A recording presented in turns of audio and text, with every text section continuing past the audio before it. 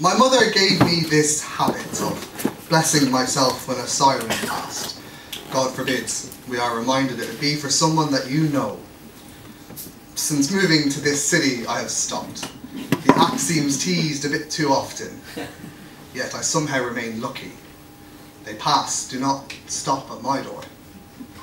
America, 2006, a white police officer will kill a black citizen at least twice a week for the next six years. So when Mike Brown's mother heard sirens, it was a most familiar sound. Police are sworn to defend and protect, but I see little threat in the suspected theft of missing cigarettes with backs turned, hands erect. Cadets just forget under pressure, you see, so the people fell to their knees in protest. It was, after all, the most violent thing they could do. History will not be settled in handshakes. Instead, arms wave like it with a lamb's blood painted above the door, a white flag meaning peace, but if this is no war, why then are there bodies?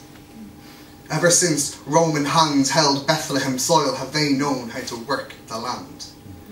That crucified effigy changing pale down the centuries from a racial pedigree, rewriting him refugee in retrospect. It carves from the native rude new weaponry, puts prisons in prayer and replaces the crucifix for a crosshair. Had Mike Brown been Michael White, he'd know a judge, not St. Peter. But cops like that have always pulled triggers on boys like him. More than once is more than chance. This is a habit that dies harder than people do. Change is violent, expensive, and unpopular. But we are allowing the carpet lifted and the dirt swept under. Another siren sounds, and I wonder if his mother has blessed herself since. Thank you.